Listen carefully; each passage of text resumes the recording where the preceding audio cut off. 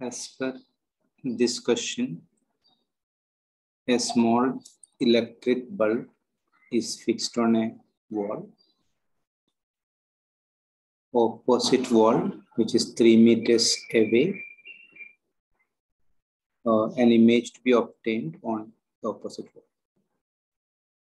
What should be the maximum focal length of the convex lens used for the purpose, can be used for the purpose. So this is the wall one, wall two. We have a bulb on wall one. The convex lens is used to get an image of the uh, bulb on the opposite wall. The object is the bulb, so lens to the bulb will be the object distance. The opposite wall act as a screen so lens to the wall 2 will be the image distance. The total distance from wall 1 to wall 2 will be the sum of object distance plus image distance, which is 3 meters. So u plus v equal to 3 meters. So you can get uh, v as 3 minus u from that. Now apply lens formula 1 by v minus 1 by u equal to 1 by f. In this, we can substitute the v as 3 minus u and apply the sign convention for u. u is negative. So be plus.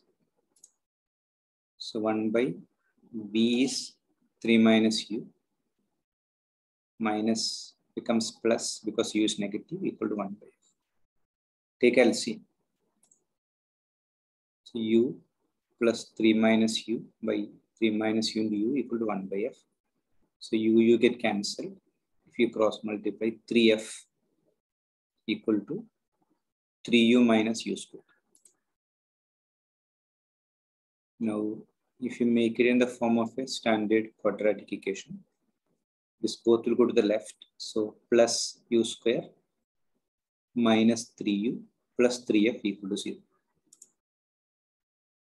So this is a condition for a quadratic equation to have real roots. Uh, ax square plus bx plus c is a quadratic equation. For real roots, b square should be greater than or equal to 4ac. B is the coefficient of x, here minus 3. a is the coefficient of x square, and c is the constant part, which is 3f. If you identify those factors,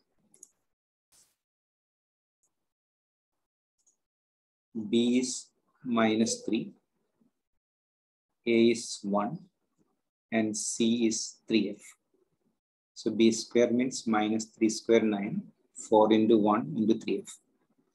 So 3, 3 get cancelled, it will be 3. 3 by 4. 4 will go to the other side. 3 by 4 meters is greater than or equal to f. 3 by 4 meters means 0 0.75 meters. If you transfer this to the left, f will be less than or equal to 3 by 4 means 0 0.75 meters.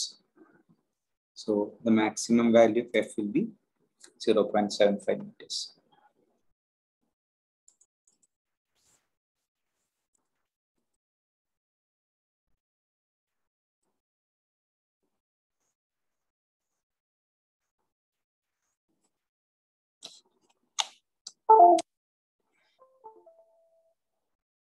If any quantity x is less than or equal to a value 10.